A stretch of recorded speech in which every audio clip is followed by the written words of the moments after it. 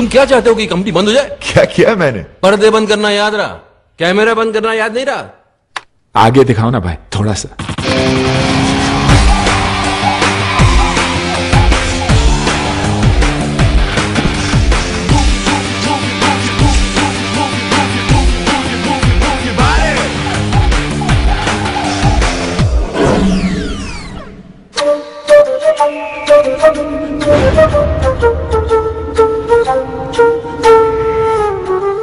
मैं फ़िल्म मैंने I have seen the movie I have dubbed for the movie मैं इतना बता दूँ कि इस फ़िल्म की मैं गारंटी लेता हूँ, इस बात की, कि हर बीवी चाहेगी कि उनका पति ये फ़िल्म आके ज़रूर देखे।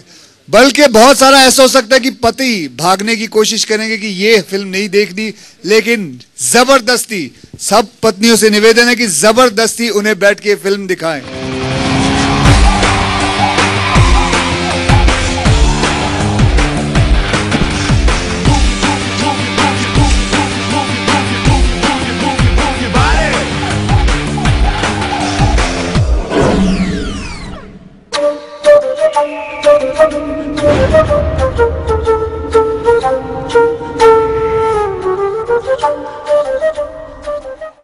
फ़िल्म के हिसाब से क्या है कि अच्छे भैया जो हैं हमें वो सलाह देते हैं। और अच्छे भैया इस फ़िल्म में बहुत ही अच्छे हैं।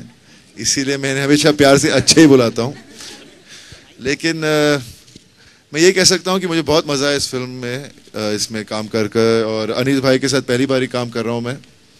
और अक्षय के साथ तो बहुत कर चुका हूँ। और सोनम के साथ। पहली बारी? ये पहली फ़िल्म थी हमारी। पर और मैं क्या कहूँ? मुझे बस माइक पकड़ के थोड़ी सी स्ट्रेस आ जाती है नर्वसनेस हो जाता हूँ, और नर्वसनेस लेकिन बस ये कहना चाहता हूँ वेरी हैप्पी कि मैं पहली बारी ऐसी शादी पे अटेंड मैंने अटेंड किया है।